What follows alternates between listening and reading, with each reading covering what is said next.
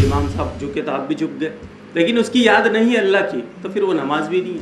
कपड़े थे आपके पास में, पहने ही नहीं। एसी रखे हुए थे वार्डरोब के अंदर, अलमारी के अंदर। अब वो देना लाजमी आपको देना पड़ेंगे, लेकिन नेकी नहीं हो।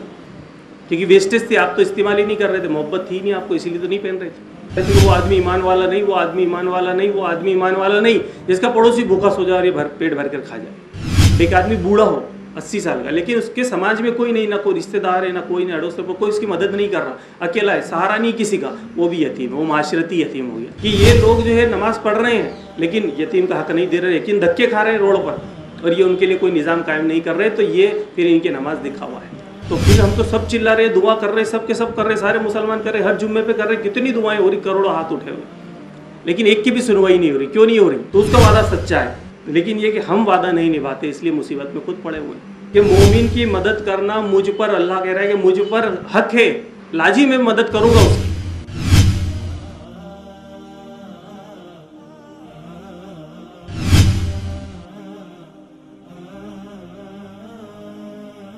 अलहमदिल्ला रबालमीन असलात वसलाम अला रसूलिल्लाह व अला वसाबी अजमैन फ़ाउज़बिल्लिनशैतानरजीम बसमीम रबी शरली सदरी वयासली अमरी वहलतमिलसानी यफ़ कोली अलहमदिल्ला हम सब यहाँ इस हफ़्ते वारी दरस कुरान के लिए जमा हुए हैं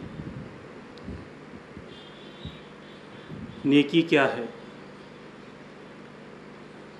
नेकी क्या है किसे कहते हैं तो आम मफहम तो हमें मालूम है कि नेकी यानी कि अच्छा काम, नेक काम। तो ये नेक काम तो वो भी करते हैं जो अल्लाह को नहीं मानते, ईश्वर को नहीं मानते, खुदा को नहीं मानते, और जो बगैर ईमान वाले हैं, गैर ईमान वाले वो भी करते हैं। ये काम अच्छे काम, और वो कहते हैं, बल्कि अच्छे काम करने चाहिए इंसानों के लिए। बल्कि ये है कि हमसे ज़्यादा करते हैं। हम इतना नहीं कर पाते जितने गैर ईमान वाले लोग, और जो अगर नहीं भी मानते किसी को, ईश्वर को ही नहीं माने, अल्लाह को नहीं माने वो भी करते और हमसे कहीं ज़्यादा करते हैं। तो नेकी क्या सिर्फ़ ये है कि हम अल्लाह को मानना और ये ईमान हो जाता है या रसूल को मानना, उसकी किताबों को मानना, उसके फरिश्तों को मानना तो ये नेकी हो जाता है क्या? तो कुरान में अल्लाह ने इसके ताल्लुक से फरमाया सूर्य बकरा सुर नंबर दो, आयत नंबर 277 में लेसल बिर्रा अन तवल्लो वजहुकुम किबला मशरक़ी वल मगरबी। कि नेकी सिर्फ़ यही नहीं है कि तुम अपने मुँह मशरक़ और मगरिब की तरफ़ कर लो। और फिर नेकी बताई अल्लाह ने कि ये नहीं है नेकी कि सिर्फ़ तुम अपना चेहरा जो है, रुख, नमाज़ पढ़ो और उधर फेर लो। ये नहीं। वला किन्ना बिर्रा मन आमन बिल्ला वल योमिल आखिरी वल मलाइकती वल किताबी व नबीन। बल्कि असल नेकी तो ये है कि कोई शख्स अल्लाह पर ईमान लाए, योम आखिर पर ईमान लाए, फरिश्तों पर उसकी किताब पर और नबियों पर ईमान लाए। तो निकी तो ये है। वह आतल माला अला हुब्बी ही वल कुर्बा वल यतामा, के और अल्लाह की मोहब्बत में अपना माल कराबतदारों पर, मसाकिन पर, यतीमों पर मुसाफिर मुसाफिरों पर मांगने वालों पर जो सवाल करने वाले, वो गर्दन छोड़ाने में खर्च करें, ये नेकी है। और फिर यहाँ फरमाया, जो ऊपर फरमाया था कि सिर्फ़ नमाज़ की बात नहीं है कि चेहरा उधर कर लो, ये नेकी है फिर फरमाया इन तमाम बातों के बाद में कि वाकुम सलाता व तुझ जकाता वल वल मफून बी हदे ही ईजा आहदू। और नमाज़ कायम करते हैं। नमाज़ कायम करे और जक़ात दे और जब कोई वादा करे तो उस वादे को पूरा करने वाले हों। तो यहाँ ये फरमाया कि ये, उसके बाद में ये ये भी नेकी है। लेकिन पहले नेकी वो बतलाई गई। तो फिर फरमाया कि वह साबरीना फिस फिल बासाई व ज़र्राई व हिन्नल बस व उलाई कल्लजीना सद्दकूल व उलाई का हमल मुतकून और सख्ती और तंदस्ती में, यानी जब उस पर तंगदस्ती आ जाए, और मुसीबत में, यानी बीमारियों के अंदर, या कोई मुसीबत उस पर आ जाए, घिर जाए उसके अंदर, और जंग के वक्त सब्र करने वाले हैं, यही लोग सच्चे हों, यही लोग परहेजगार। तो ये सच्चे और परहेजगार लोग हैं। तो अल्लाह ने एक तो माना ये है कि इधर रुक कर लेना, सिर्फ़ कि मगरब पश्चिम की तरफ़ रुक कर लेना ये नेकी नहीं है। सिर्फ़ इसको नेकी नहीं कहा गया। और हालाँकि अल्लाह ने कुरान में दूसरी जगह कहा भी है, इसके ताल्लुक से सूर्य बकरा के आयत नंबर 150 में फरमाया, अल्लाह ने कहा ओमिन हिस्सू खरजत फोली व वजहा का, के के सतरल मस्जिद हराम, कि अगर तुम जहाँ कहीं से भी निकलो, यानी सफ़र पर हो, रास्ते पर हो, जब तुम निकलो तो अपना रुख मस्जिद हरम की तरफ़ कर लिया करो। और तुम जहाँ कहीं भी हो, अपनी तवज्जो उस तरफ़ किया करो, ताकि लोगों को, लोगों की तुम पर कोई हुज्जत बाकी ना रहे, ताकि तुम अपनी नेमत पूरी कर दो तुम्हारे ऊपर, और ताकि तुम फलाह का रास्ता तुम पा जाओ। तो यहाँ पर अल्लाह ने यहाँ बताया, और फिर एक और जगह इसी के ताल्लुक से फरमाया सूर्य बकराई की आयत नंबर 115 में फरमाया, वलिल्लाहिल मशरिक के जिस तरफ़ भी मुँह करो, सब तरफ़ अल्लाह का रुख है। हर तरफ़ अल्लाह का रुख है, जिस तरफ़ भी तुम रुख करो। तो सिर्फ़ ये नहीं है कि सिर्फ़, अब ये हम, ये तो सभी कहते हैं हर किसी से कहें तो ये एक सिर्फ़ हमारा इस्लाम के अंदर ही है, जिसके अंदर हमको एक दिशा दी गई कि तुमको इधर मुँह करना है और इधर तवज्जो करके तुमको नमाज़ पढ़ना है। बाकी किसी के अंदर पहले हुआ करता था, मंदिरों के अंदर एक रुख हुआ करता था, वो भी पूरा पश्चिमी रखा करते थे। लेकिन अब चूँकि अब कोई ध्यान नहीं देता, अब मंदिर जो है वो चारों तरफ़ मुँह बनते हैं। चर्च के अंदर कोई शुरू से मसला ही नहीं है वो चारों साइड उसमें बनाते हैं। वो कहते हैं कि नहीं, उस अल्लाह को पुकारना है तो किधर से भी पुकार लो, हर तरफ़ है। तो अल्लाह ने भी कहा कि बस यही नहीं है कि वो तो हर तरफ़ है, जिधर तुम रुख करो, वो उसका रुख है। लेकिन हमको ये तवज्जो दिलाना था अल्लाह को कि तुम जो है लेकिन कहीं भी रहो, लेकिन तवज्जो तुम्हारी उस तरफ़ होनी चाहिए। यानी अल्लाह की तरफ़ होनी चाहिए, असल तो वो है। जो बताया उसकी तरफ़ होनी चाहिए। वो अपनी जगह है कि नमाज़ हम पढ़ेंगे तो उधर रुक करेंगे, लेकिन ये तवज्जो उधर होनी चाहिए। नहीं यानी तुम्हारी हर चीज़ का जो मरकज़ है, वो निज़ाम है, उसकी तरफ़ होनी चाहिए कि कहाँ से तुम्हारा दीन चला और वो दीन ने तुमको वहाँ से क्या क्या दिया। और वहीं पर उस दीन का गलबा भी रहा और गलबा रहेगा भी। तो तुम्हारा उस तरफ़ रुख होना चाहिए उन चीज़ों के ऊपर। तो मंजिल एक हो, रास्ता एक होना चाहिए क्योंकि रास्ते कई नहीं होते, सीधा रास्ता एक होता है। तो तुम्हारा रुख उस तरफ़ होना चाहिए तो निज़ाम भी एक होना चाहिए तो इस्तेमायत के लिए भी ये भी होना चाहिए कि फिर तुम इस्तेमायत से जब नमाज़ पढ़ो तो तुम्हारा रुख भी एक तरफ़ होना चाहिए, तुम्हारी मंजिल भी एक होनी चाहिए, तुम्हारा रास्ता भी एक होना चाहिए, ये सारी चीज़ें एक होनी चाहिए। तो मरकज़ की बड़ी अहमियत, अल्लाह ने बताई हमको कुरान के अंदर, कई जगह पर बता, बतलाई। पूरे सूर्य बकरा के अंदर हम पढ़ेंगे तो 145 से लेकर जो तकरीबन सात आठ आए। तो मैं पूरा यही मरकज़ के बारे में बताया कि किबला क्या है। तो किबले के ताल्लुक से फरमाया कि तुम्हारा सब कुछ इधर होना चाहिए, यहाँ से जो चीज़ जो किया गया। और यहीं से इस्लाम जो है बुलंद हुआ और यहीं पर इस्लाम रहेगा और यहीं पर रहेगा इस्लाम क़्यामत तो उसके ताल्लुक से अल्लाह ने फरमाया भी कुरान सूर्य माहिदा के आयत नंबर तीन के अंदर कि हमने इस्लाम को पसंद कर लिया। तो यही है तुम्हारा मरकज़ भी और यहीं पर, और वहीं पर अल्लाह ने आखिरी आयत, इसके ताल्लुक से उलमा कहते हैं कि आखिरी आयत है कुरान की। तो अल्लाह के रसूल वसल्लम के हजतुलविदा विदा के मौके पर ये नाजिल हुई। तो वहीं पर उसी मरकज़ पे ही ये आयत नाजिल हुई, वहाँ अल्लाह ने कह दिया कि हमने पसंद कर लिया इसको। अब तुम्हारा रुख इधर ही होना चाहिए। तो वो है। अब यहाँ पर जो फरमाया अल्लाह ने कि, ले ज़रा बिल रहा कि कुरान में बिर कहा तो बिर को हम नेकी के मायने में ले लेते हैं कि हाँ नेकी, कि नेकी तक रखते हैं उसको। तो वो सिर्फ़ जुबानी हो जाता है कि बस ये नेकी है कि हम ईमान लेकर आ जाए। तो जुबानी पढ़े, कलमा, बस ये वही नेकी है। इसके अलावा नेकी हम समझते नहीं कि अब ये नेकी है ये। तो अब ये तफसील उसकी आ गई, फिर अल्लाह ने किया कि तुम जिसको नेकी समझ रहे हो सिर्फ़ ईमान लाना नेकी है। ये इतनी चीज़ों पर, फरिश्तों पर, रसूलों पर, किताबों पर।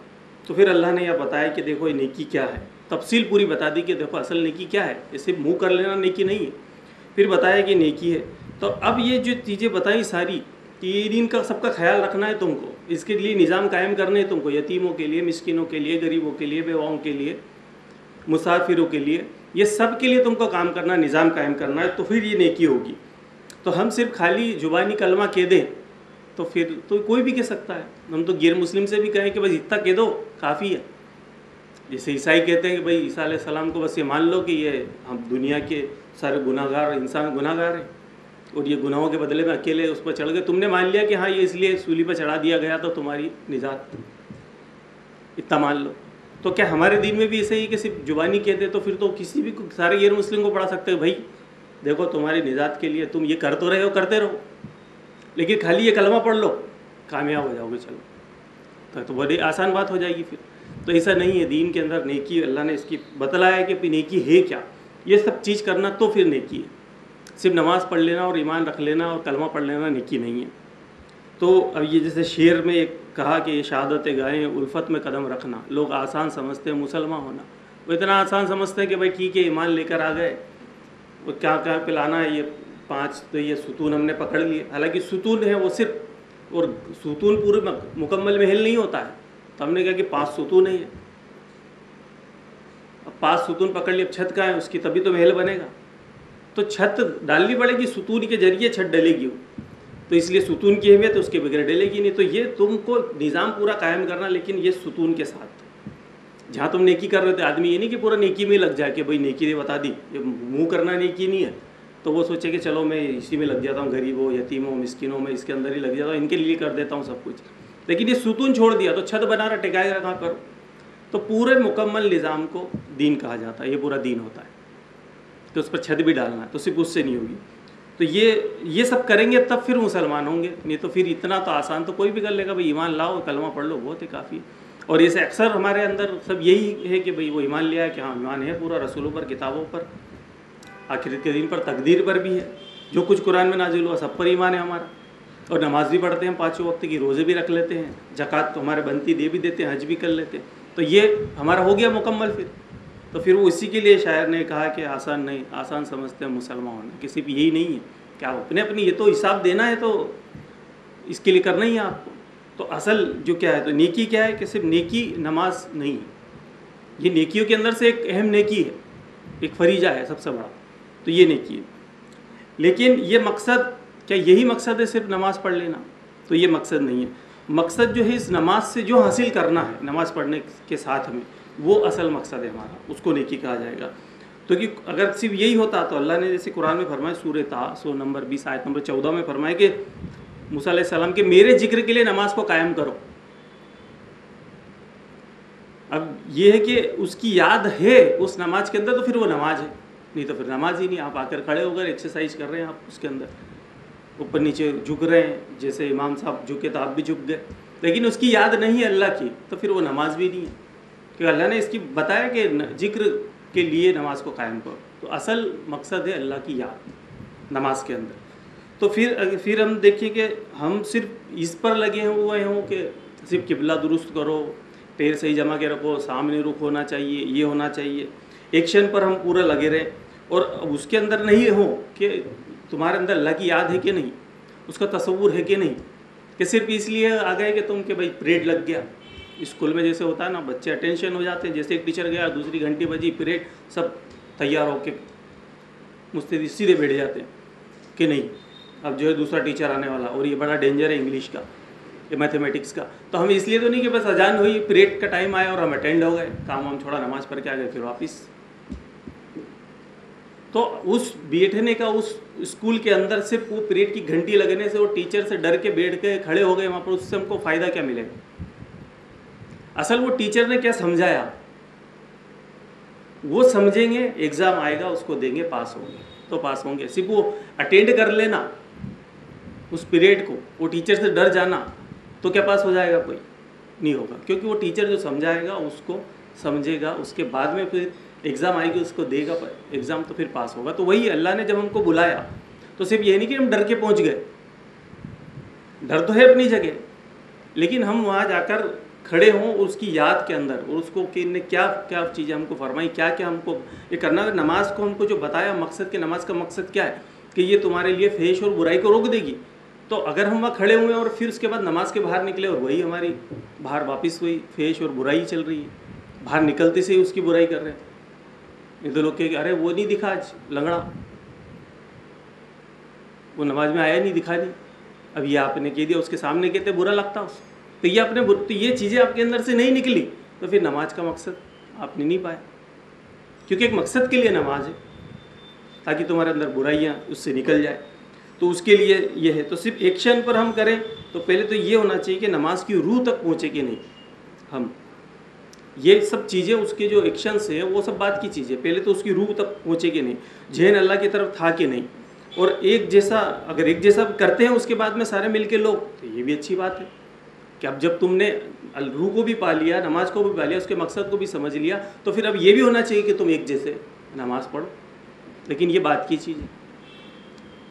तो ये है। और दूसरी चीज़ कि हम फिर फिर उसी पर लग जाएँ, इन्हीं चीज़ों के ऊपर कि नहीं, ऐसा ही होना चाहिए। दिख गया देखो जाहरी तौर से दिख रहा सुन्नत। ऐसा ऐसा लिबास पहन लिया, सुन्नत। ऐसी ऐसी शक्ल रख ली है सुन्नत। तो फिर अल्लाह के रसूल वसल्लम ने फरमाया कि ये चीज़ें नहीं देखता अल्लाह। अल्लाह के रसूल वसल्लम की हदीस से फरमाया कि अल्लाह तुम्हारी शक्लों को, तुम्हारे लिबास को, तुम्हारे माल को नहीं देखता।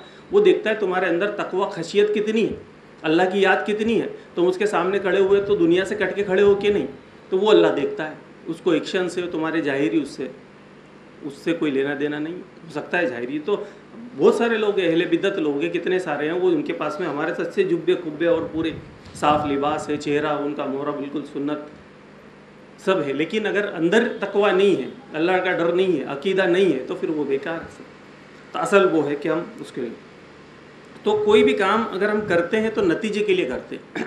तो अल्लाह ने, उसके रसूल ने कोई काम बताया तो उसका नतीजा हासिल होना चाहिए, उसका रिज़ल्ट आना चाहिए तो फिर वो काम का है, नहीं तो फिर वो हमारे लिए किस काम का नहीं। स्कूल में कोई पढ़ता है? क्यों पढ़ता है? उससे पूछे बच्चे से, क्यों पढ़ रहा है स्कूल के अंदर? अब छोटा बच्चा है, उससे पूछेंगे तो कि मारेंगे अब्बा, मार कूट के भेज देते हो तो घर धुमाल कर रहा था, स्कूल भेज दिया। तो अब वो जब थोड़ा सा झेन उसका अच्छे हो जाता है, उसके बाद में जब समझ लग जाता है, कॉलेज में दाखिला ले लेता है, तब पूछेंगे क्यों पढ़ रहा है? तो कहेगा, जॉब के लिए पढ़ रहा हूँ। उसको नतीजा चाहिए कि इस पढ़ने का। तो हर आदमी कोई भी काम दुनिया के अंदर करता है तो वो इसलिए करता है कि उस काम से उसको नतीजा मिलना चाहिए, रिज़ल्ट मिलना चाहिए तो वो काम करेगा नहीं तो नहीं करेगा। तो कुरान हदीस में जो कोई भी काम हमको बताए गए तो रिज़ल्ट के लिए बताए गए हैं, नतीजे के लिए बताए गए सिर्फ़ पढ़ने के लिए नहीं बताए कि पढ़ लो आप इसको से। तो उसका रिज़ल्ट आना चाहिए। तो जानबूझकर अगर कोई आदमी, अब कोई जानबूझकर, नमाज़ के तो ये है कि जानबूझकर अगर छोड़ दे तो अल्लाह के रसूल वसल्लम ने फरमाया तो कुफ्र है। एक नमाज़ भी अगर किसी ने छोड़ी, जानबूझकर अगर छोड़ दी, छूट गई, वो मजबूरी की बात अलग है, लेकिन जानबूझकर इसने छोड़ दिया तो कुफ्र है। तो नमाज़ का मकसद ये है कि इस नमाज़ से हासिल क्या करना है? वो चीज़ पे हमारी तवज्जो होनी चाहिए। तो तुम उसका रुख करो। तो ये खुद एक मकसद नहीं है, लेकिन इस, ये मकसद का ज़रिया है कि इससे तुम असल मकसद की तरफ़ आ जाओ। तो रोज़ा भी एक मकसद, रोज़ा आने वाला है, रमज़ान शुरू होने वाले तो वो भी एक मकसद के लिए है। वो कुरान में खुद अल्लाह ने फरमाया कि ताकि तुम्हारे अंदर क्या आ जाए? तकवा पैदा आ जाए। तकवा हो जाए तुम्हारे अंदर, इसलिए तुमको रोज़ा दिया गया है। नहीं तो अब हमारा, इसके अंदर भी यही होता है कि जैसे ही रमज़ान आता है तो फिर वो शुरू हो जाता है। हमारा रमज़ान इसी बहसबाजी में निकल जाएगा। असल जो तकवा हमको दिया गया था कि तुमको रोज़े से हासिल क्या करना है? भूखे रह रहे हो तो तुमको मिस्किन की तड़प, एक गरीब की तड़प तुमको मालूम होनी चाहिए कि तुम भूखे हो। देखो, तुमको सिर्फ़ एक वक्फ़ा हमने रखा है। हालाँकि तुम्हारा फ्रिज पूरा शाम को भरा पड़ा है, तुमको पूरा खाना है। लेकिन उसकी सोचो जिसके पास में भूखा है और घर पे खाने को कुछ नहीं है, कोई इंतज़ाम नहीं कल का ना शाम का। तो ये तड़प तुम्हारे होनी चाहिए कि हाँ उसके लिए भी मुझे सोचना चाहिए, गरीब के लिए भी सोचो, ये तुम्हारे अंदर आना चाहिए रोज़े से। तो हम उसके अंदर ये है कि हम उस पर लग जाते हैं कि नहीं, इसने इतनी इतनी जो है शेरी यहाँ तक है, यहीं तक तो होनी चाहिए शेरी इससे ज़्यादा नहीं। इससे ज़्यादा किसी ने खा लिया तो रोज़ा हराम, इससे पहले किसी ने कर दिया तो फला ये हो गया। तो ये सारी इफ्तार में ये नहीं किया तो ये चीज़ें तो हम उसमें लगे हुए। तो ये इस्लाम हर ज़माने और दौर के लिए आया। ऐसा नहीं कि अब ये घड़ी थी हमारे पास तो हम तो घड़ी से सेट कर लिया हमने नमाज़, इसको, रोज़े को, कि इतनी वजह से शेरी ख़त्म होती है और इतनी वजह से तो हम काटा कस लेके बैठ जाते हैं। बल्कि आजकल तो वो बिल्कुल आता तो सेकंड भी चलता तो बस वो मस्जिद में लगा हुआ सेकंड टिक टिक टिक टिक, शुरू। तो अब जब घड़ी नहीं थी तो फिर क्या था? तो वो लोग भी तो उस ज़माने के अंदर थे। आगे मान लो घड़ी नहीं हुई तो फिर क्या होगा? तो ये नहीं है, इसके अंदर क्या है, कहा गया जैसे अल्लाह ने जो कुरान में ये बताया इसके ताल्लुक से रोज़े के ताल्लुक से कि जब सफ़ेद, काला, काले के अंदर से सफ़ेद धागा ज़ाहिर हो जाए तो इसको आज तक कोई डिफाइन नहीं कर सकता है कि ये वक्त कितना है, वक्फा कितना है, आज तक डिफाइन नहीं हुआ है। ये वक्त कब सब शुरू होगा? ये क्या एक घंटे पहले होता है सूरज निकलने से कि डेढ़ घंटे पहले होता है एक घंटा बीस मिनट पर होता है? तो वो एक अंदाज है सबने लगाया कि हाँ किसी कोई कहता नहीं डेढ़ घंटे कोई कहता है एक, घंटा बीस मिनट कोई कहता नहीं एक घंटा। तो वो उससे अंदाज़ा लगा लिया। तो असल तो ये कि ये नहीं होगा। और अगर जंगल में भी होगे तो वहाँ भी रोज़ा रखना है। तो कैसे रखेंगे कि बस वो अंधेरा था उससे थोड़ा सा उजाला हुआ। तो ये टाइम हो गया। तो घड़ी नहीं थी तब भी योग करते। तो ये तो हर ज़माने के लिए और हर जगह के लिए इस्लाम है। तो उसके लिए ऐसी पाबंदियाँ नहीं है। तो इस पर हम वो ना करें। तो इसके अंदर बहुत मार्जिन है। बहुत मार्जिन इसमें दिया गया है। तो ये गैर ज़रूरी बारीकी में उलझे और रोज़े से फिर फिर तकवा हासिल ना कर पाएँ। नमाज़ से हम बुराई को ख़त्म ना कर पाएँ। तो फिर वो किसी काम की नहीं क्योंकि मकसद हम हासिल नहीं कर रहे, उससे मकसद क्या होना चाहिए? तो याद के, याद उसकी कायम नहीं हो रही है फिर। रोज़े के लिए भी और नमाज़ के लिए भी।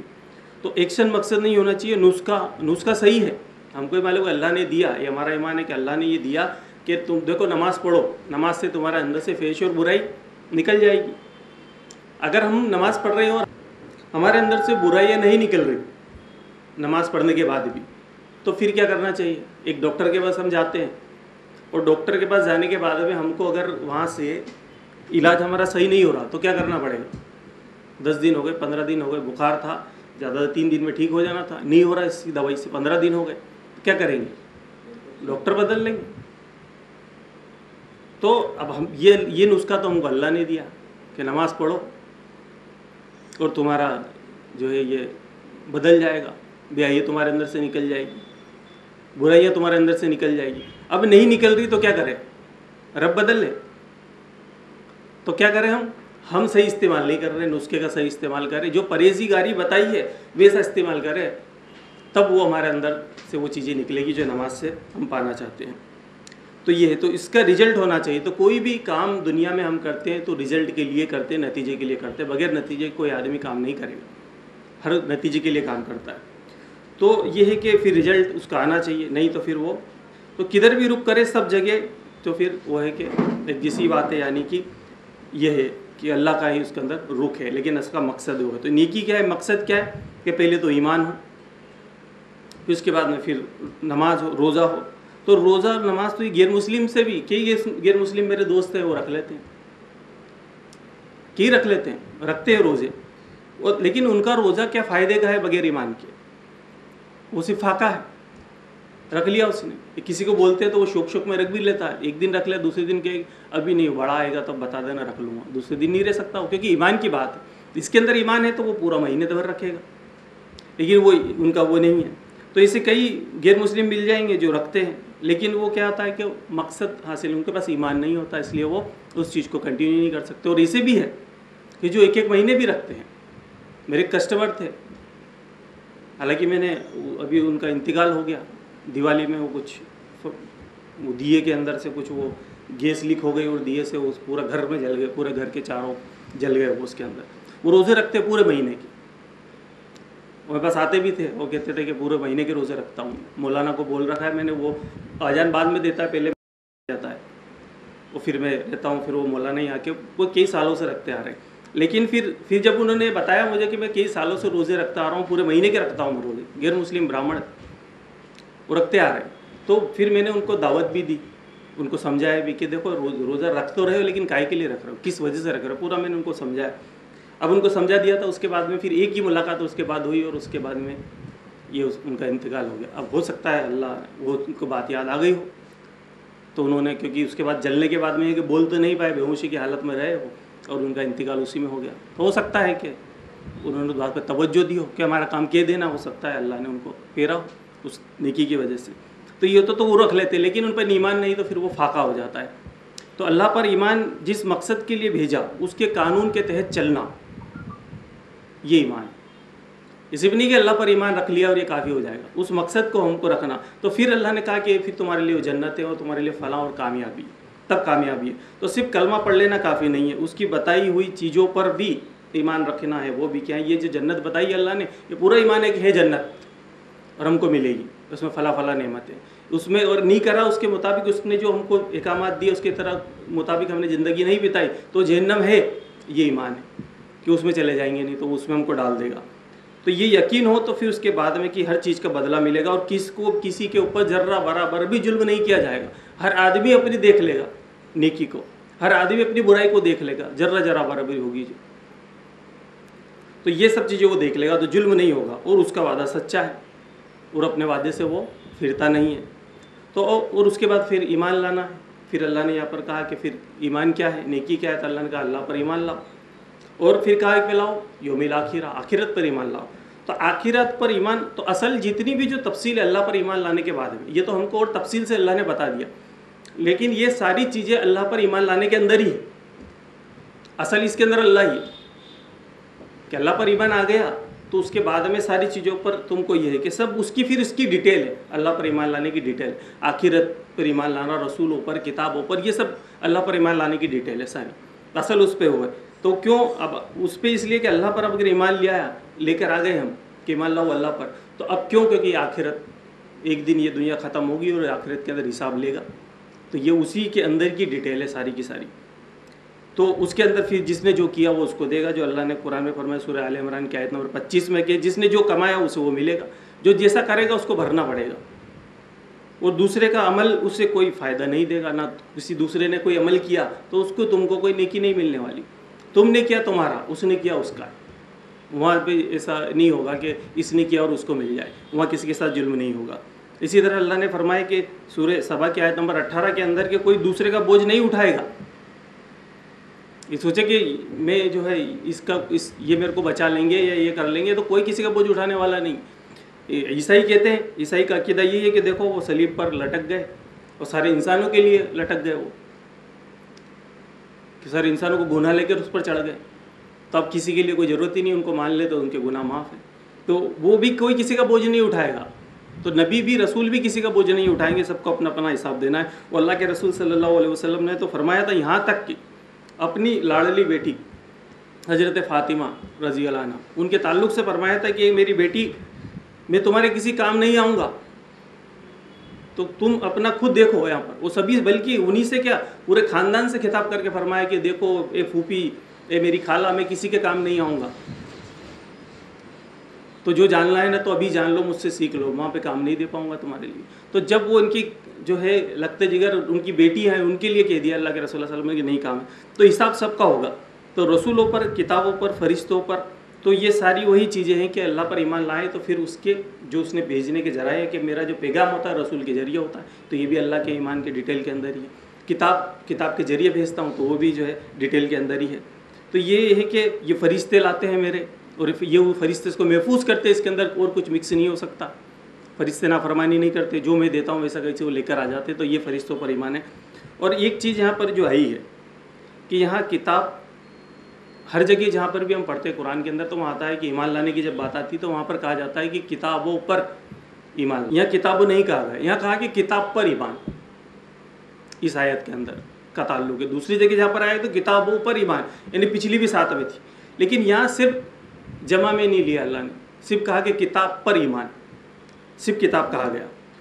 तो यहाँ ये थोड़ी बात अलग है कि ये सिर्फ़ कुरान की बात की जा रही है और ये सिर्फ़ मोमिनों से किताब किया जा रहा है। ये सबसे किताब भी नहीं कि किताबों पर, यह मोमिनों के लिए ख़ास। तो उनके लिए कहा कि ये कुरान की बात हो रही कि कुरान की बात हो, इसकी हो रही। तो इसलिए खाली एक सिंगुलर किताब के बारे में कहा गया। अब यह एक वजाहत और मैं कर दूँ। कल भी मेरे से किसी ने सवाल किया था। हालाँकि किसी को नामजद लेना, किसी का नाम लेकर कोई बात कहना तो मिजाज में नहीं है कि मैं किसी का नाम लेके कोई बात कहता हूँ। लेकिन चूँकि कभी कभी ऐसी चीज़ हो जाती है कि जिसकी वजह से लोग फितनों में पढ़ने का डर होता है तो उसको नामजद भी लिया जाना चाहिए, लेके बताना चाहिए। तो इसके अंदर एक शख्स है जिसका नाम है मोहम्मद शेख। आप जानते होंगे बहुत से जो इंटरनेट यूज़ करते हैं तो वो जानते होंगे कि एक मोहम्मद शेख करके हैं। लोग उसको कहते हैं कि अहले कुरान है। हालाँकि वो कोई अहले कुरान भी नहीं है। वो एक अलग ही फितना है। और या तो ये है कि वो किसी जो है साजिश के तहत भेजा गया है उसको। तो उसका ये कहना है, वो ये कहता है उसकी, हालाँकि बहुत सारी बातें हैं उसकी। लेकिन अभी जो हम किताब की बात कर रहे हैं तो किताब के ताल्लुक से वो उसका ये कहना है कि वो वो कहता है कि शुरू से नू सलाम से जो किताब चल रही है, और ये कुरानी एक ही किताब थी। वो इंजील, तोरात वगैरह सब यही, ये कुरानी था, और कोई किताब नहीं थी। सब यही, सारी चीज़ें यही है। और वो इसको कहता है कि नहीं, तोरा को, तोरा मतलब होता है कानून। तोरात मतलब कानून होता है। इंजील मतलब होता है खुशखबरी। तो बोले कि ये वही है आप इसको अलग समझ रहे कि तोरात अलग है और इंजिल अलग है। मतलब खुशखबरी कानून कौन सी है इस किताब के अंदर है? खुशखबरी कहाँ है इस किताब के अंदर? तो इसी की बात की जा रही है कोई किताबें नहीं थी। शुरू से यही किताब एक ही किताब। तो उस किताब को भी ख़त्म करने की वो उसमें, लेकिन ये है कि कुरान के अंदर ये वर्ड अलग से आए। अल्लाह ने तोरात का भी लफ्ज़ का इस्तेमाल किया कई जगह पर। इंजील का भी इस्तेमाल किया गया कई जगह पर कुरान में अल्लाह ने फरमाया। तो अब ये ये अरबी नाम नहीं तोरात अरबी नाम नहीं है, इंजिल भी अरबी नाम नहीं। तो अब वो कहता है कि नहीं, देखो तो कुरान तो अरबी में नाजिल हुआ। तो ये अरबी है। हालाँकि क्योंकि होता ऐसा है कि जहाँ पर अल्लाह ने कुरान, पूरा अरबी में है, लेकिन जहाँ जहाँ पर जगह की और किसी की नाम की बात आएगी तो उसको ट्रांसलेट थोड़ी किया जाएगा। उसके नाम से ही पहचाना जाएगा। उसको थोड़ी कि उसको नाम को बदल देंगे और अरबी के अंदर माना लेके आ जाएँगे तो फिर समझेंगे कैसे? तो अल्लाह ने वहीं से जो लोग वहाँ पर इस्तेमाल करते थे, जिस जगह का नाम जो था, उसी नाम को अल्लाह ने कुरान में बयान किया। वो अरबी का नहीं, अरबी में नहीं आता। तो तोरात इस्तेमाल किया गया तो जहाँ पर ये लफ्ज़ था, इब्रानी ज़बान में तो वहाँ से अल्लाह ने इसको ऐसा कैसी बता दिया कि तोरात, वो लोग तोरात कहते थे, इसको इसलिए तोरात। जहाँ पर वो था, इब्रानी, उसके अंदर इंजील का तो वो उसके अंदर आ गया तो वो लेके आए। तो ये कि उसी ज़ुबान में रखा उसको, इसका ट्रांसलेशन नहीं किया। ये तो अंग्रेज़ कर देते हैं हमारे यहाँ। तो ट्रांसलेशन करने जाते हैं ना तो वो आदमी के नाम का भी ट्रांसलेशन कर देते हैं। जैसे हमारे साइंटिस्टों के सारे नाम उन्होंने नाम भी ट्रांसलेशन कर दिया उन्होंने। किताबों के नाम भी उन्होंने ट्रांसलेशन कर दिया। तो ट्रांसलेशन नहीं तो अल्लाह ने भी नहीं किया। तो जैसे मिसाल के तौर पर हम समझे कि एक का नाम अब्दुल्ला है। अब अब्दुल्ला के बारे में कोई चीज़ मैं बता रहा हूँ कि अब्दुल्ला कि अब्दुल्ला ने फला काम किया। अब्दुल्ला के अरबी है, लेकिन मैं उसको बता रहा हूँ कि उर्दू के अंदर। क्योंकि तो उर्दू जानता है, हिंदी जानता है तो मैं हिंदी में कोई अब्दुल्ला के बारे में कुछ बता रहा हूँ, लेकिन मैं उसका नाम का ट्रांसलेशन भी कर दूँ साथ में। क्यों? अल्लाह, अब्दुल्ला मतलब क्या होता है? अल्लाह का बंदा। तो अल्लाह का बंदा ने ऐसा किया। तो वो पूछेगा नहीं कौन? लेकिन अब मैं कहता था कि अब्दुल्ला ने ऐसा किया। तो अगर अच्छा वो अब्दुल्ला की बात हो रही है। लेकिन न मैं नाम का भी ट्रांसलेशन कर दूँगा तो समझेगी नहीं कौन से अब्दुल, कौन से अल्लाह के बंदे की बात करो सारी अल्लाह के बंदे पूरे दुनिया में। तो नाम को ट्रांसलेट नहीं किया जाता, जगह के नाम को भी ट्रांसलेट नहीं किया जाता है तो कुरान ने भी वही किया है। तो ये हमको समझने की किसी का नाम सलीम है, मिसाल के तौर पर सलीम है। सलीम का मतलब होता है सलामती देने वाला। अब कोई सलीम ने कोई बुरा काम किया कि सलीम ने उसको थप्पड़ मार दिया। तो अब हम नाम को भी ट्रांसलेट कर रहे हैं, बता रहे हैं उर्दू के अंदर, नहीं, वो तो सलीम तो अरबी में तो इसको कर दो। सलामती देने वाले ने थप्पड़ मार दिया। अब कैसा लगेगा? ट्रांसलेशन कर देंगे। तो ट्रांसलेशन नहीं करते तो ये जो सारे अरबी नाम नहीं है, लेकिन अल्लाह ने इसको अंदर लेकर आया है। तो इसी तरह वो जो शख्स ये चीज़ों को ये बताकर उन किताबों की अहमियत को भी ख़त्म करना चाहता है तो हमारे ईमान के अंदर से, किताबों पर ईमान तो ईमान के अंदर बिगाड़ वाली बात है। इसलिए मैंने आपको ये बात में उसके ताल्लुक से रखी। फिर इसके अलावा बहुत सारी चीज़ें हैं कि ईसा सलाम के आने का इनकार है।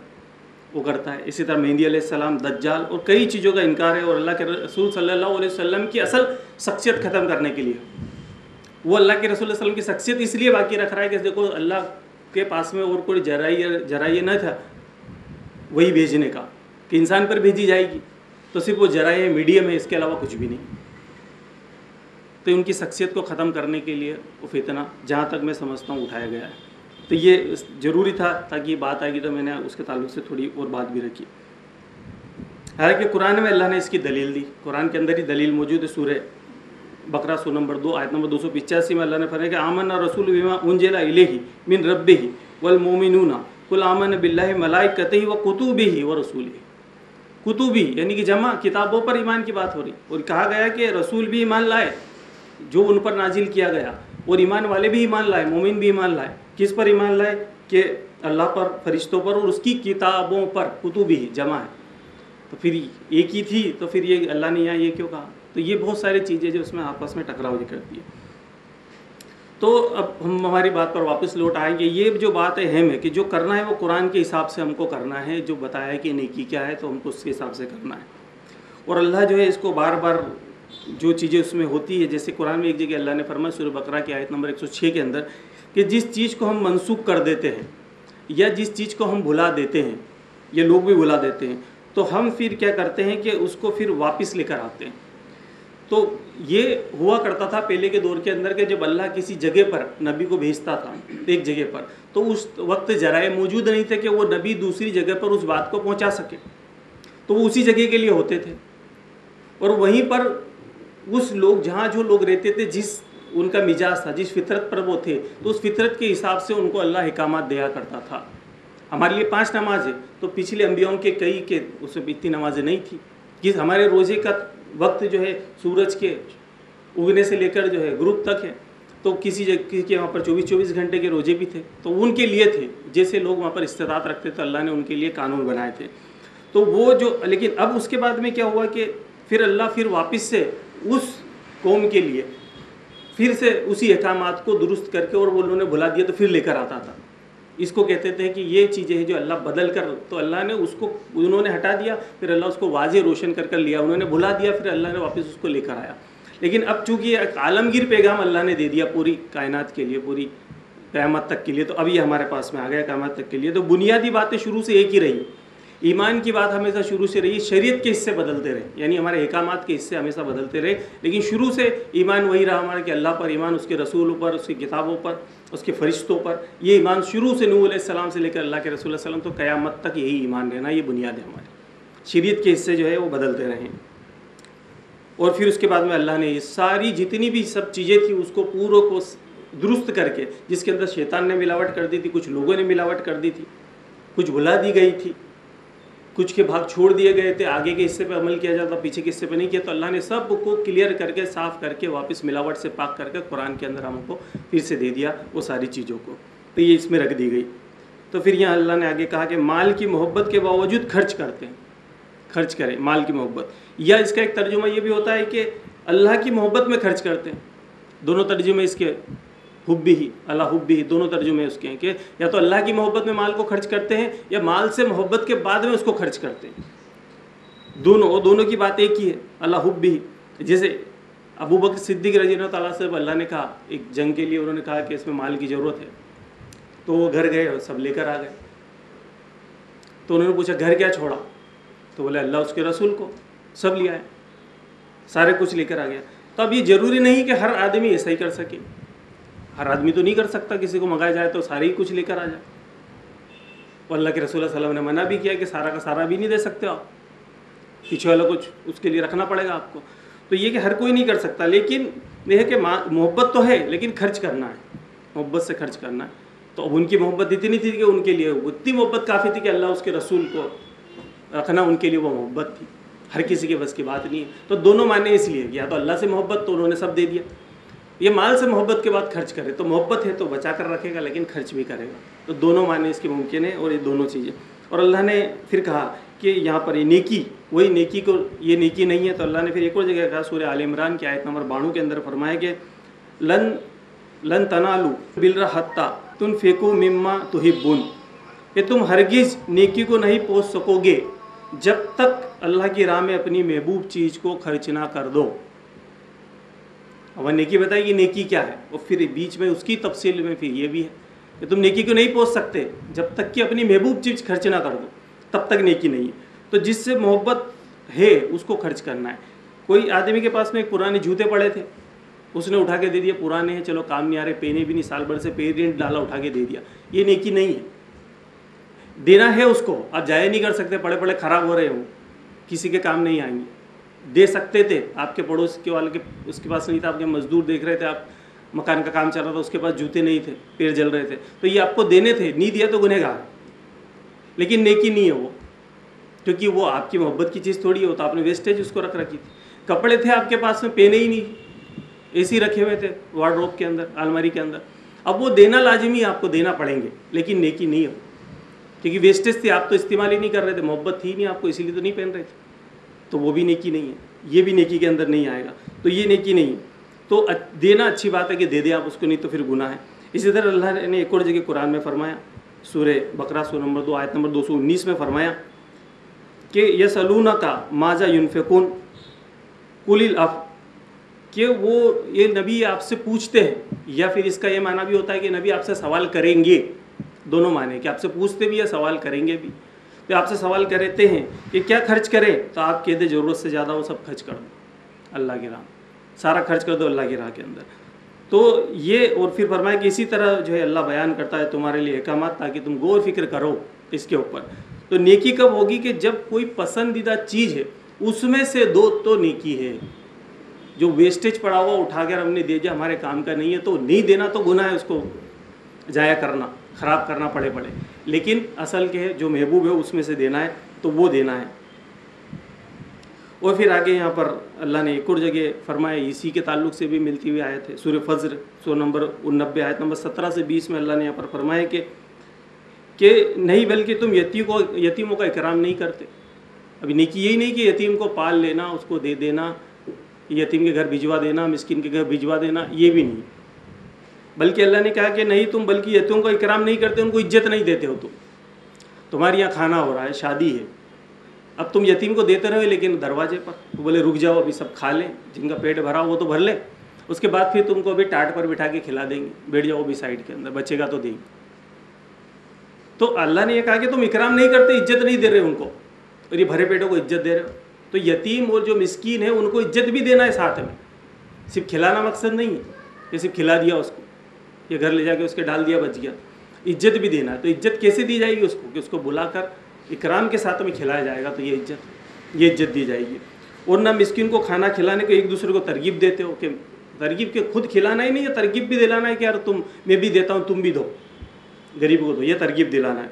और विरासत का सारा माल समेट कर खा जाते हो। माल से मोहब्बत के अंदर तुम बुरे फंसे हो। विरासत का माल खाना क्या? ये भी हम देखते हैं, आम है। कौन किसी की बहनों का फूफी का कौन देता है? कोई नहीं देता। खा जाते हैं, बल्कि वो कहते भाई, शादी कर तो दी थी इसकी। इतना सारा खर्च कर दिया, इतना देश दे दिया। तो देखो, फिर उसके बाद में लड़के आ गई थी, दो साल तक घर बैठी रही बैठे बैठे खिलाते रहे इसको। केस भी चल रहा था, उसमें पैसा लगाया। ये सब तो अलग चीज़ है, वो तो देना ही है। उसके विरासत को अल्लाह ने हक रखा है। तो वो भी तुम खा जाते हो, माल की मोहब्बत में फंसे हो, वो भी नहीं देते हो। विरासत का भी माल समेट कर खा जाते हो। तो सबका हक देना है। तो नेकी में सब चीज़ें नेकी के अंदर है। तो ये रिश्तेदारों का, कराबतदारों का तो कराबतदार, ये भी हो सकता है टेम्परेरी कौन, जिससे हमने एक टेम्परेरी रिश्ता कायम किया मुसाफिर के साथ में। ज़रूर नहीं कि जो हमारा क्या, हमेशा जो पैदाइशी रिश्तेदार वो, बल्कि वो भी है जिससे हमारा कुर्ब, जिससे हमने पास, सफ़र पर हमने उससे दोस्ती कर ली तो ये भी हमारा करीबी है। तो इसके भी तुमको देना पड़ेगा, इसको अगर कहीं मजबूरी फंसी तो इसको भी तुमको देना है। उसके अलावा फिर अल्लाह के रसूल वसलम तो यहाँ तो फरमाए कि कराबतदार कौन है? करीब। करीब वाले कौन है? बोले, तुम्हारे आसपास के चालीस घर इधर वाले, चालीस घर इधर वाले। इनको भी देखो कि यहाँ पर कोई भूखा तो नहीं है। इनके भी हक तुमको देना पड़ेंगे। और बल्कि यहाँ तक फरमाए कि वो आदमी, उसके तारीफ़ से कि वो आदमी ईमान वाला नहीं, वो आदमी ईमान वाला नहीं, वो आदमी ईमान वाला नहीं, जिसका पड़ोसी भूखा सो जा रही भर, पेट भर कर खा जाए। यहाँ तक फरमाया गया। तो नेकी के अंदर ये सारी चीज़ें उसके अंदर आती है। और साहिल, के साहिल को झिड़को में साहिल को दो। यानी कि जो सवाल करते हैं उनको भी दो।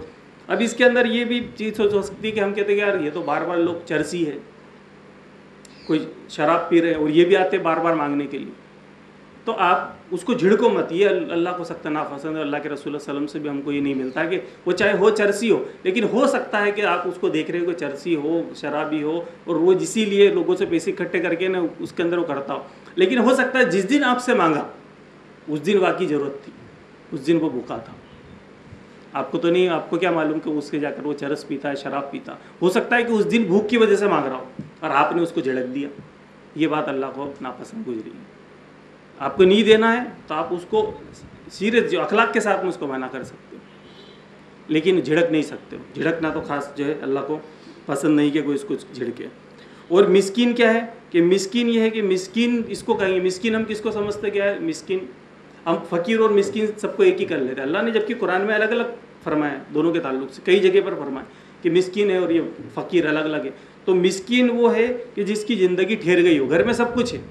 घर में सब चीज़ें उसके पास में। कि घर में उसके बाद रहने के लिए है, खाने के लिए है, घर में चीज़ें भी हैं, जो सहूलत की है, पलंग है, बेड है, सब सहूलत की चीज़ें, लेकिन ज़िंदगी ठहर गई, बढ़ नहीं पा रहा वहाँ से। फंस गया वहाँ पर। उससे कुछ नहीं कर रहा, जितना कमा रहा है, सब मेंटेनेंस के अंदर, बिलों के अंदर, घर के अंदर, खर्चे के अंदर, खाने में ख़त्म हो रहा, ज़िंदगी की आगे नहीं बढ़ रही, तरक्की नहीं कर पा रहा। तो ऐसे आदमी की तुम मदद करो, क्योंकि वो सिर्फ़ इसी जद्दोजहद में लगा हुआ चौबीस घंटे के मुझे बिल, बिजली का बिल भरना है, मकान का किराया देना है, और मुझे जो है खाने का बंदोबस्त करना है, बच्चों की स्कूल की फ़ीस भरनी इससे आगे बढ़ ही नहीं पा रहा हूँ। तो उसके अंदर जमूद आ गया ठहर गया हो। तो अब तुम उसकी मदद करो, ताकि इससे वो निकले, तब फिर वो अल्लाह की तरफ़ आएगा नहीं तो चौबीसों घंटे तो वो ज़रूरत के अंदर लगा हुआ है, बीवी के, बच्चों के, घर के मेंटेनेंस के अंदर। फिर हम उससे कहें कि भाई, नमाज़ को क्यों नहीं आ रहा? तो कहेगा कहाँ से आऊँ मैं? मैं तो दिन में तो आठ घंटे फैक्ट्री पर जा रहा हूँ। फिर शाम को जाके मैं दूसरी की दुकान पर वहाँ पर बैठता हूँ। फिर रात को मैं चौकीदारी कर रहा हूँ। तीन तीन तो काम कर रहा हूँ, मेरे पास टाइम कहाँ है? मेरे को तो इससे भी मेरा पूरा नहीं पड़ रहा। तो उसको भी दो तुम, ताकि इसकी ज़िंदगी जो ठहर गई है ना, तुम इसको कुछ सहूलत दोगे। तो ये किसी चीज़ को, काम को कम करेगा, फिर अल्लाह की तरफ़ आएगा, इबादत की तरफ़ आएगा। तो ये बुलाना पड़ेगा तो उसके लिए आपको निज़ाम कायम करना पड़ेगा। सिर्फ़ बुलाएँ, उसको आ जाए उसके पास कहाँ टाइम है? मजदूर है थका मांदा हो गया उससे कह रहे हो, ईशा की नमाज़ पढ़ो। कैसे करेगा? तो उसके लिए भी आप दो, उनकी भी मदद करो, मिसकिनों की मदद करो तो जिस, ये मिसकिन है। और इसी तरह जो है, यतीम तो यतीम, अब यतीम सिर्फ़ वही नहीं कि जिसका बाप मर गया हो। हम यतीम उसको कहते हैं, वो यतीम है। कि उसके ऊपर कोई सहारा ना बचा। यतीम उसको कहा जाता है जिसके पास कोई सहारा ना हो, बेसहारा। अब एक आदमी बूढ़ा हो, अस्सी साल का, लेकिन उसके समाज में कोई नहीं, ना कोई रिश्तेदार है, ना कोई नहीं, अड़ोस कोई उसकी मदद नहीं कर रहा। अकेला है, सहारा नहीं किसी का। वो भी यतीम है, वो माशरती यतीम हो गया। तो उसकी भी तुम मदद करो और उस यतीम की भी मदद करो जो भली मालदार है, लेकिन उसकी कोई पैसा उसका खा ना जाए तो उसकी तुम हिफाजत करो। उसके लिए अल्लाह ने कुरान के अंदर सूर्य निशा में बहुत सारी चीज़ें बताई कि उनको तुमको कैसे ख्याल रखना है। और फिर उसके बाद में ये सब कर लिया। ये सारी नेकी अल्लाह ने बता दी, ये सारी नेकी है। फिर फरमाया कि फिर नमाज़, ये सब करने के बाद कि अब तुम सलाद कायम करो। यह है सलाद। और हम स्टार्टिंग सलाद से कर रहे हैं, अल्लाह ने इसीलिए यहाँ पर फरमाया। बहुत बड़ी आयत है कि अब ये सलात है इसके सब के बाद में। फिर सलाद कायम करो तो फिर ये सलात है। और फिर उसमें कर रहे हो, लेकिन तुमने ये सब नहीं माउन में फरमाया कि आरायत लजी युकजुद्दीन फ़ज़ल लजी यदुल यतीम बला यूज़ु अला तामिल मिसकिन। कि ये लोग जो है नमाज़ पढ़ रहे हैं, लेकिन यतीम का हक नहीं दे रहे लेकिन धक्के खा रहे हैं रोड पर, और ये उनके लिए कोई निज़ाम कायम नहीं कर रहे तो ये फिर इनकी नमाज़ दिखावा है। ये दिखावे की नमाज़ पढ़ रहे हैं। कैसी नमाज़ है फिर इनकी? तो वहाँ भी फरमाया तो फिर ये दिखावे की नमाज़ है। फिर अल्लाह ने आगे फरमाया कि ये नमाज़ पढ़ो, ये सब करने के बाद तो फिर नमाज़ है, फिर जक़ात फिर जक़ात दो। अब ये ऊपर इतना सारा हम देखे आए, ये क्या था? फिर जक़ात को वापस अल्लाह ने नीचे ले गया वापस आ गई। ये जक़ात क्या है कि ये वो है कि ये तो फ़र्ज़ है, ये देना है। जहाँ अल्लाह ने बताया, आठ मद के अंदर इसको खर्च करना है। लेकिन उसके अलावा ये सारी चीज़ें क्या करना है? तुमको निज़ाम भी कायम करना है और ये सारी चीज़ें करना और ये तो फ़र्ज़ है, देना ही देना है। ये तो फिर गुनहगार लेकिन नेकी के लिए सारी चीज़ें तुमको ये करनी पड़ेगी, खर्च करना पड़ेगा। और नेकी, देखिए नेकी मैंने आपको ये वाक्य कई बार पहले भी सुनाया है कि अल्लाह के रसूल वसलम ने फरमाया सही बुखारी के अंदर आता है सही मुस्लिम के अंदर, कि एक तीन शख्स एक घर में फंस गए, कहीं जा रहे थे, बारिश हुई घर में घुस गए, पत्थर आकर गिर गया, और मुँह उसके मुहाने पर आ गया, वो निकल नहीं पा रहे थे। अब उनने कहा कि और उन, इतना भारी पत्थर था कि वो हटा नहीं सक रहे थे। तो उन्होंने कहा, तीनों ने कि अब क्या करें? तो उन्होंने कहा, एक काम करो, अल्लाह से अपने, अपनी जो नेक काम है, अपने नेकी का वसीला लगाओ। तो उसने फिर कहा, अब उसके अंदर ना तो रोज़े का लगाया न नमाज़ का लगाया, न जक़ात का लगाया, ना हज का लगाया, किसी लगाया ही नहीं ये वाला, जो फ़र्ज़ किया गया वो लगाया ही नहीं उसने। ये नेकी में गिरा ही नहीं उन्होंने। उन्होंने कहा, नेकी? तो फिर उन्होंने कहा कि, देखो, मैंने उस औरत को छोड़ दिया था, अल्लाह के डर की वजह से। तो मेरी नेकी है तो उसकी वसीले से थोड़ा पत्थर हट गया। फिर दूसरे ने कहा कि, देखो, मैं वालदेन की मैं किसी खिदमत करता था। और उनको खिलाए बगैर में तो पूरा तफसीली वाक्य, बड़ी हदीस है, वो तवील हदीस है। फिर वो तो फिर थोड़ा पत्थर हट गया। फिर तीसरे ने कहा, उसने भी फिर ये बताया कि देखो, मैंने एक के, एक की मजदूरी मेरे पास रह गई थी और मैंने उसके लिए भेड़ पाली और वो आया और मैंने उससे कहा कि तेरी है, ये सारी की सारी चीज़। तो वो सब में ले गया और मैंने उसको रोका भी नहीं तेरी रजा के लिए। तो ये सब क्या किया था? उन्होंने नेकी का वसीला लगाया। इसमें नमाज़, रोज़ा, जक़ात, हज के वसीले नहीं लगाए। तो हमको ये सोचने की ज़रूरत है कि क्या हमारे पास में ऐसी नेकी है? कि हम किसी दिन मुसीबत में फंस जाएँ, उसी ऐसी गार में फंस जाएँ, या कहीं मुसीबत में फंस जाएँ, और तब हम अल्लाह को पुकारें। तो फिर हम कहेंगे, अल्लाह तेरे लिए नमाज़ पढ़ी तो सब पढ़ते, फ़र्ज़ है तो। हम तेरे लिए रोज़े रखे, सब रखते रखते आ रहे हैं उम्मत, ये तो फ़र्ज़ है। तो फिर ऐसी नेकी है कि नहीं कि हम उस वक्त पुकारे कि अल्लाह देखो ये फला नेकी मैंने की थी, ये गरीब को उस दिन ये किया था, देखो उस मिस्किन को ये भला किया था, देखो उस जो है, हमाल का मैंने माल उठा दिया था। देखो, उसको धूप में बेचारा जा रहा था, बीमार था तो मैंने उसको ऑटो में बिठा के उसके अस्पताल पहुँचा दिया था। ये नेकी तो ये होगी, खालिश की थी अल्लाह तेरे लिए। मैं तो उसको जानता भी नहीं था। तो फिर वो हमारे मुसीबत में काम आएगी। नहीं तो फिर नहीं है हमारे पास में तो फिर सोच की ज़रूरत है कि ऐसी नेकी है कि नहीं? वो नेकी को हम जमा करें। तो ये फिर होगी। तो मुसीबत में फिर हम उसका वसीला लगा सकते हैं। और फिर अल्लाह ने फरमाया कि वादा है तो वादे को पूरा करो। इंसानों से भी तुम वादे करते हो, उसको भी पूरा करो। और जो अल्लाह से तुमने वादा किया, ये ऊपर, कि हम तो ऊपर ईमान लाए। तो जो जो तुमको बताया कुरान के अंदर वैसा तुम करते कि नहीं? ये तुम्हारा वादा अल्लाह से, ईमान इसी को कहा जाएगा, वादा है हमारा अल्लाह से। तो इस पर भी तो अपने वादे से फिरो मत। तो और उसके बाद में फिर ये फरमाया तो ये वादे भी हम आज, आजकल तो हमारा ये मुसलमानों का अतमाद ऐसा हो गया है कि पूरा ख़त्म हो गया लोगों के ऊपर से। पहले मुसलमान की गवाही काफ़ी हुआ करती थी। आज से 20-30 साल पहले एक मुसलमान अगर गवाही दे देता तो लोग उसकी बात को सारे गैर मुस्लिम भी मानते थे। वो कहता था कि नहीं, ये बात सही कह रहा, बोले नहीं, इन्होंने कह दिया, भाईजान ने कह दिया, बात ख़त्म। ये सही। ये सब मुसलमानों के बारे में था और थे भी ऐसे लोग। लेकिन आज तो ऐसा हो गया कि इनने कह दिया, ये तो दस भी कहते तो नहीं मानेंगे इनकी बात। ये हमारा इतमाद उड़ गया मुसलमानों के ऊपर से। नहीं तो उसका अकेली की गवाही काफ़ी हुआ करती थी। तो ये है। तो ये फिर हमारी गवाही भी काफ़ी नहीं हो रही है। तो ये वादा खिलाफी की वजह से हुआ। और अल्लाह ने फिर कहा कि अगर तुम, फिर वाकई में अगर तुम बात भी ये कर रहे हो, अगर फिर उसके बाद जिसको तफसील, ये पूरी बता दी अल्लाह ने नेकी क्या क्या है। अगर उसके बाद भी सोचा, नहीं नहीं, नेकी तो यही है। और हमारे यहाँ यही है। दूसरी चीज़ बता तो समझ में नहीं आती उनको बोले, नहीं पाँच टाइम की नमाज़ होगी रोज़ा हो गया, इससे आगे बात मत करो। ये कौन सी बातें तुम करने लग गए कि ये ये फला करो, इसको खिला दो, उसको पिला दो, ये निज़ाम कायम कर दो, ये प्याऊ खोल दो, ये कपड़े पहना दो। ये कौन सी बातें कर रहे हो? ये तो ये तो ये की सब यही है। जो कुछ है सब यही है। नमाज़ और रोजा है बस ये कर लो, बहुत है। हालाँकि उसके लिए भी इंतज़ाम नहीं। उसके लिए भी एक नज़म कायम होना चाहिए तो नज़म भी नहीं है। तो ये है कि पहले हम उसको समझ रहे हैं। तो अगर वो भी समझ रहे हैं तो फिर देखें, कुरान की कितनी सारी आयत है, जहाँ अल्लाह ही कहता है कि तुम ना तुम्हें अगर पक्का यकीन है कि यही ईमान है, और ईमान वाले तुम हो तो फिर अल्लाह ने यह फरमाया सूर्य आल इमरान सो नंबर तीन, आयत नंबर एक सौ उनचालीस में फरमाया, कि अन तुम आलो ना इन कुन तुम मोमिन कि अगर तुम ईमान वाले हो, तुम्हारा दावा यह है कि हम ईमान वाले हैं। और बाकी तुम कह रहे हो कि सच्चे हो, अपने दावों के अंदर के ईमान वाले हैं। तो ज़मीन में तुम ही गालिब रहोगे, ये रिज़ल्ट होगा तुम्हारे ईमान का। तो क्या ज़मीन में हम ही गालिब है अभी? या कहीं पर पूरी दुनिया में गालिब है? तो फिर इसलाह किसकी करने की ज़रूरत है? नमाज़ तो सब पढ़ रहे हैं, अरब के अंदर पूरी नमाज़ें पढ़ रहे हैं। बल्कि मार के पढ़ाई जाती है वहाँ पर तो। ले जाया जाता है, भाई, कैसे खड़ा है? चलो, नमाज़ पढ़ो। तो सब पढ़ा रहे नमाज़, सब हो रही है नमाज़। लेकिन क्या हुआ? उसके बाद के हम कायम हो गए तो हमको फिर सोचने की ज़रूरत है कि ये ईमान मुकम्मल नहीं हो रहा है सिर्फ़ नमाज़ें पढ़ने से या रोज़े रखने से। जो, क्योंकि नमाज़ रोज़े की बात है तो वो तो पचास आयत में आ जाती कुरान की। छः हज़ार से ऊपर आए थे तो फिर नहीं है। फिर इस वजह से फिर तो अल्लाह ने तो कहा ये। और होता कि अगर तुम ईमान वाले होते तो गालिब होते दुनिया के अंदर। तो ये टेस्ट है। कि इसका रिज़ल्ट क्या आ रहा नतीजा निकल रहा है कि नहीं निकल रहा? अगर तुम सिर्फ़ ईमान इसको समझ रहे हो। और फिर, वो फिर अल्लाह ने यहाँ पर एक और जगह फरमाया सूर्य रूम सो नंबर तीस, आयत नंबर सैंतालीस में अल्लाह ने फरमाया कि वो कहा ना हक्कन अलेना नसरुल मोमिन कि मोमिन की मदद करना मुझ पर अल्लाह कह रहा है कि मुझ पर हक है, लाजी में मदद करूँगा उसकी। लेकिन क्योंकि अगर वो मदद, वो अपने वादे को पूरा करता है, वादे से फिरता नहीं है, मदद करेगा, लेकिन शर्त लगाई है उसने कि तब मदद करूँगा। तो फिर हम तो सब चिल्ला रहे दुआ कर रहे सब के सब कर रहे सारे मुसलमान कर रहे हर जुम्मे पे कर रहे कितनी दुआएँ हो रही, करोड़ों हाथ उठे हुए। लेकिन एक की भी सुनवाई नहीं हो रही, क्यों नहीं हो रही? क्यों मदद नहीं कर रहा अल्लाह?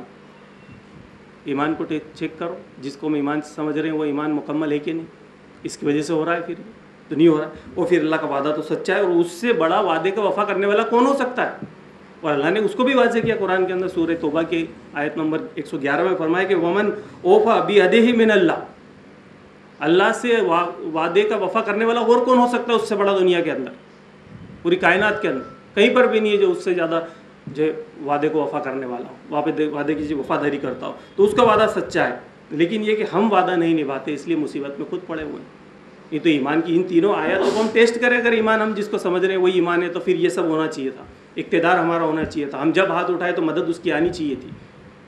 तो नहीं हो रहा तो हमारे ईमान को चेक करने की ज़रूरत है कि सिर्फ़ हम जिसको ईमान समझ रहे वही ईमान नहीं है काफ़ी। कुछ हमारे से गलतियाँ हो रही है। तो फिर आगे अल्लाह ने यहाँ फरमाया कि आखिरी में इसमें कहते वो सख्ती व तंगदस्ती के अंदर, मुसीबत और बीमारी के अंदर, और फिर वो जंग के जब हालात हो जाएँ तो फिर वो सब्र करते हैं उसके ऊपर। उसमें नहीं कहते क्या मुसीबत आ गई, सब कुछ करने के बाद। ये भी कर लिया तुमने सारा। फिर अल्लाह ने वहाँ भी फरमा दिया कि ऐसा नहीं हो कि ये देखो तुमने टेस्ट वेस्ट सब कर लिया, सब बता दिया, तुमने निज़ाम कायम कर दिया, अब उसके बाद भी आ गई। तो फिर वहाँ क्या करना है? सब्र करना है। सब्र यानी कि जम जाना उस चीज़ों के ऊपर कि हमने जो बताया, अल्लाह ने हमने किया तो ये आजमाइश अल्लाह की तरफ़ से। अब इस पर जमे रहेंगे, उसको सब्र कहा जाता है। उर्दू वाला सब्र नहीं, अरबी वाला सब्र। अरबी वाला सब्र यानी इस्तेकामत से जम जाना उस चीज़ के ऊपर। उसको कहते हैं सब्र। अरबी में तो उर्दू के अंदर हमारा सब्र के सब्र करो, बैठ जाओ। सो जाओ, लेट जाओ। वो नहीं सब्र। सब्र यानी कि फिर बढ़ते चले जाना, उसके ऊपर जम जाना।